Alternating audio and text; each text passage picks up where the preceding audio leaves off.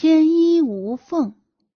古时候有个叫郭汉的人躺在院子里乘凉，他仰望夜空，只见一轮明月悬在漂浮的云朵之中。忽然有朵云向他飘来，落在他的眼前。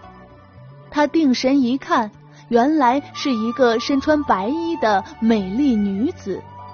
只见她满身光环围绕，灿烂夺目。郭汉非常惊喜，心想：这一定是个仙女。于是郭汉便问道：“请问你是何人？”女子听了，笑着回答说：“我是天上的织女。”郭汉闻言又惊又喜，他细细的打量着织女的衣服。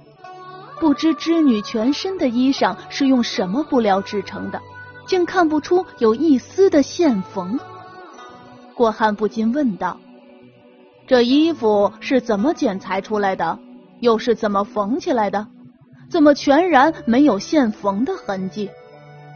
织女说：“这是天衣，天衣是不用剪刀和针线制作的，所以说天衣是无缝的。”天衣无缝，意思是天上神仙的衣服没有衣缝，比喻事物周密完善，找不出什么毛病。